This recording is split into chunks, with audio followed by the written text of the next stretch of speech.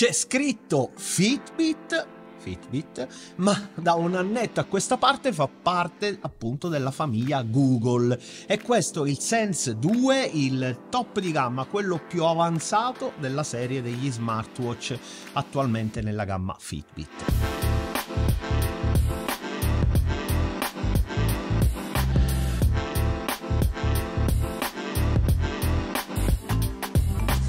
Lo sto provando da una settimanella e se siete interessati a uno smartwatch dal look veramente molto elegante, ma dalle infinite funzioni sportive e soprattutto da una batteria ben sopra la media, allora mettetevi comodi che questo smartwatch e anche questo video potrebbe fare proprio al caso vostro. Ma prima di andare avanti, chiedo all'80% di voi che guardate i miei video e che di fatto non siete iscritti al canale di fermarvi un attimo e di iscrivervi al canale. A voi non costa assolutamente nulla, ma per me e la nostra community è importantissimo, soprattutto se i contenuti come questi che porto sono di vostro gradimento.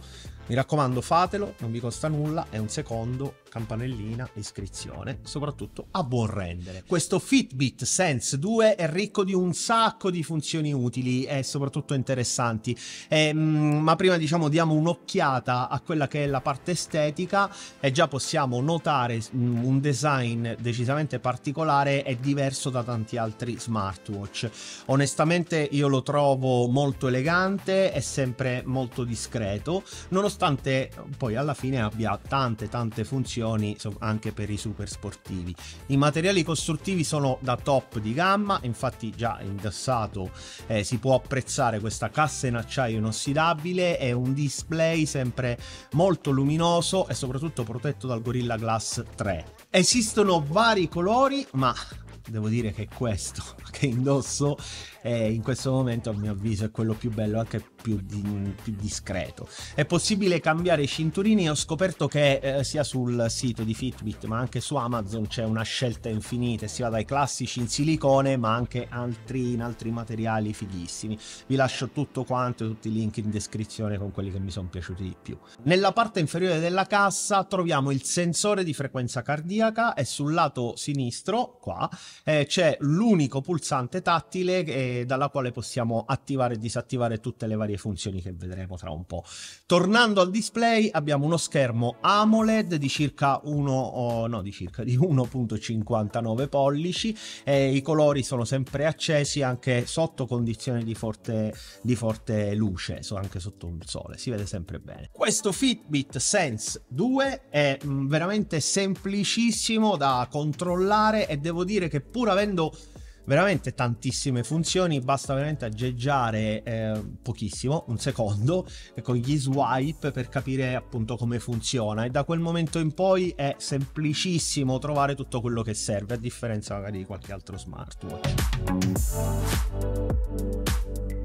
uno swipe dall'alto verso il basso e si aprirà il menu di controllo dalla quale potremo attivare tutte le funzioni uh, quali di uh, non disturbare, attivare la modalità notte, il display sempre acceso e regolare anche la luminosità del display e accedere anche a delle impostazioni, al menu delle impostazioni che sono semplici e facilissime da intuire e gestire, infatti non sto a spiegarvele tutte. Ed è proprio la semplicità il, il suo vero forte, infatti avendo uh, veramente tutto ciò che eh, troviamo in altri blasonati smartwatch del mercato e questa è proprio la testimonianza che lui è un vero top di gamma. Possiamo attivare tutto senza perderci appunto nei meandri di menu sottomenu.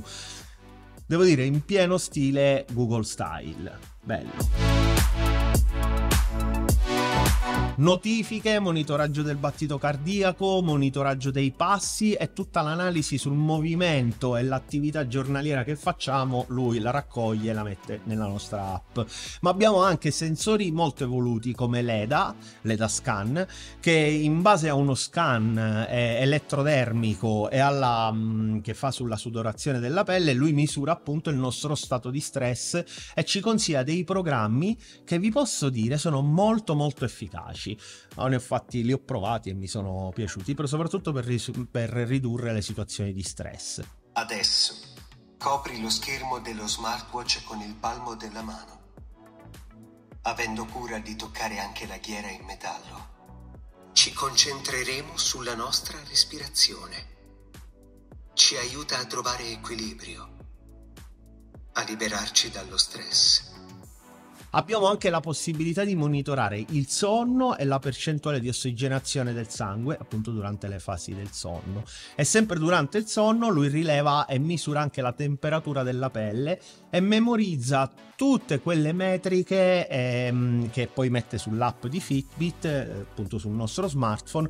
E questo è molto interessante perché spesso la temperatura della pelle è un, veramente un buon indicatore se qualcuno ad esempio ha la febbre o si sente male e quindi non misura la temperatura, però ci dà delle buone indicazioni. Smartwatch elegante sì, ma se parliamo di sport, lui veramente sfodera tutta la sua tutta la competenza maturata da Fitbit in questi anni. Infatti, oltre a rilevare l'allenamento e registrare la performance, lui fa tutta un'analisi molto molto accurata inserendo anche le classiche fasi di zona attiva questa è una cosa che si trova su smart, eh, smartwatch importanti insomma queste cose onestamente sono abituato a vederle su robe molto sportive chiaramente non mancano gli allenamenti per la tipologia di sport e ce ne sono un'infinità e io solitamente faccio fare a lui a parte non mi alleno tanto. E se vogliamo possiamo rispondere anche alle chiamate, ma vi dico subito che l'altoparlante, diciamo, che posto qui non è proprio fortissimo, ma sicuramente può essere veramente utile, come ad esempio nel mio caso se avete delle cuffiette collegate, io le ho collegate con le Buds Pro di, di Google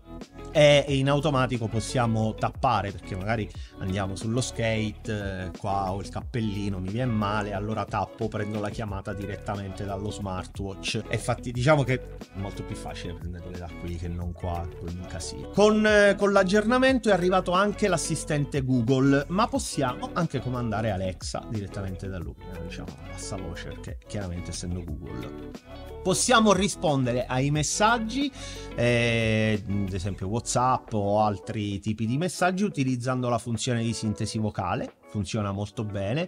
Basterà veramente tappare sull'iconcina del, del microfono e dettare il messaggio, inviarlo e penserà lui proprio a trascriverlo per noi.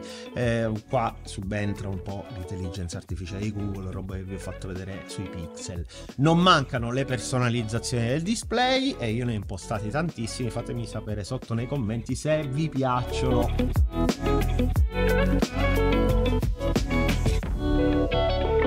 Lui registra tutto e tutto può essere analizzato nei minimi particolari passando appunto dall'app di Fitbit che io ho installato inizialmente sul Pixel 7, trovate il video, poi adesso sul Pixel 7 Pro che mi è arrivato da giorni, che sto utilizzando, arriverà lo sfidozzo e che comunque eh, ci sono già dei video fatti anche sul Pixel 7 Pro, io vi lascio tutto quanto qui così potete andarvele a vedere. Ed ecco appunto se sullo smartwatch è tutto semplice, assolutamente a portata, sullo smartphone eh, un, quindi sull'app è un pizzichino più complesso, proprio data la mole di informazioni e soprattutto i consigli che vengono fuori. Diciamo che questo non è male, soprattutto oh, per chi di voi è spippolone e super sportivo, cioè sono veramente una serie di chicche di robe infinite. L'ultima caratteristica, ma decisamente la più importante per quanto mi riguarda e penso per molti di voi, è la durata della batteria. E finalmente abbiamo uno smartwatch con bei colori, tante feature che dura veramente tanto. Io ho fatto 7 giorni pieni, ve l'ho fatto vedere con le storie e, e a proposito seguitemi anche su Instagram e su TikTok, mi raccomando.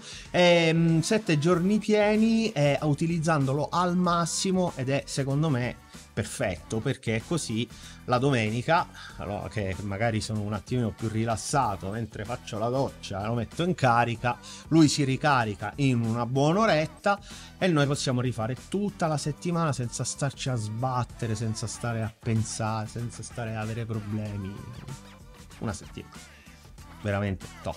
Allora, che dire, onestamente io non vedo dei lati negativi, forse sulle app qualcosina, ma penso che con Google arriveranno. Lui ha un bel design, è costruito molto molto bene, i, ma- i materiali sono assolutamente premium e ha tutte le funzioni che mh, mm, ci sono sui top di gamma.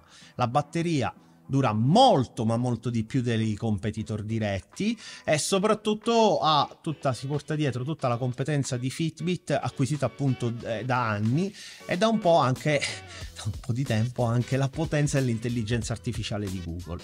Lui chiaramente funziona sia sui dispositivi Android che su iOS e lo consiglio a chi cerca uno smartphone, uh, uno smartwatch diverso appunto dai classici Apple Watch o Galaxy Watch Magari se avete uno smartphone di altri brand, lui secondo me è una soluzione azzeccatissima, soprattutto se avete un Pixel.